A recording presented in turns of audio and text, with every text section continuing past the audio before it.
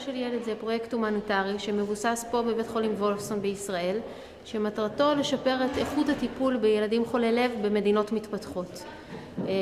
כדי להשיג את הדבר הזה אנחנו עושים שלושה דברים.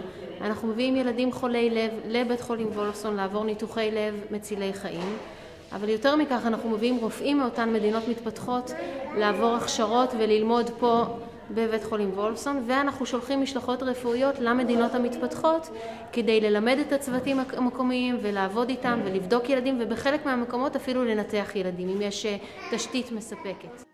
כל הפעילות הרפואית של העמותה מבוססת פה בבית חולים וולפסון בחולון.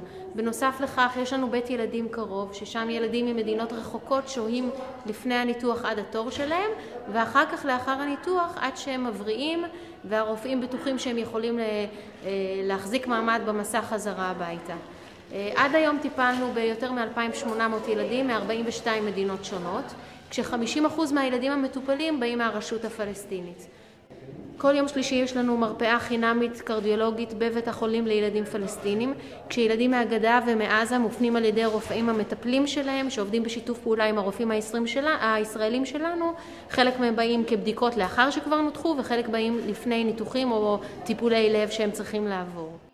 כל העבודה הרפואית וכל הפעילות הרפואית מתבצעת פה בבית חולים וולפסון על ידי צוות של כ-70 רופאים ואחיות וטכנאים ופיזיותרפיסטים שכולם בנוסף להיותם עובדי וולפסון מטפלים בהתנדבות גם בילדים שלנו. זה אריאן, הוא מכורדיסטן, הוא נמצא אצלנו כבר הרבה זמן בגלל שאריאן יש לו מום לב שהיה צריך להיות מנותח בחודש הראשון לחיים ולא נותח בכורדיסטן בגלל שאין שם אפשרויות לנתח את זה.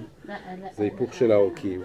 וכשרוצים לנתח את זה בגיל של שנה וארבעה חודשים שהוא הגיע אלינו, אז אנחנו מנתחים ניתוח מכין, שהמהלך אחרי ניתוחי הוא מאוד קשה, על מנת שאפשר יהיה להעביר אותו את הניתוח שהיה צריך לעבור בגיל חודש. היום תגיע מקהלת ילדים מהמרכז הערבי-יהודי ביפו שתבוא להופיע בפני הילדים של הפרויקט פה בוולפסון כדי לשמח אותם וקצת לעודד את הרוח שלהם. אפילו דקה,